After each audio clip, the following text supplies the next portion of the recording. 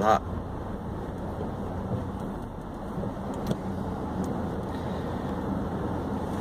Look at that ginger beard. The problem with being blonde is your beard goes ginger. Look at that ginger beard.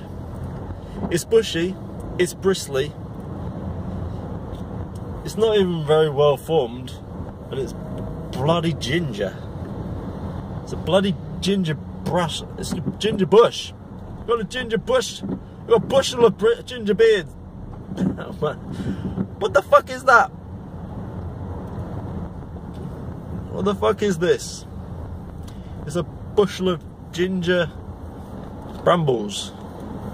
Oh my god, it's a ginger brambles. It's a copper. It's a copper wire. It's a copper ginger bush. Ah.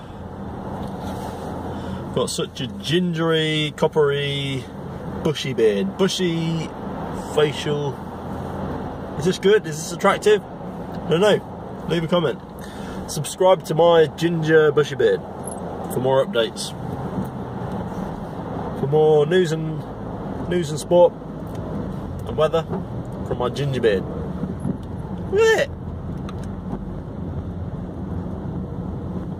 It's like my face is on fire. I have a ginger rug around my mush. Some fire. It's starting to tickle. It's starting to absorb the power of the sun and burn.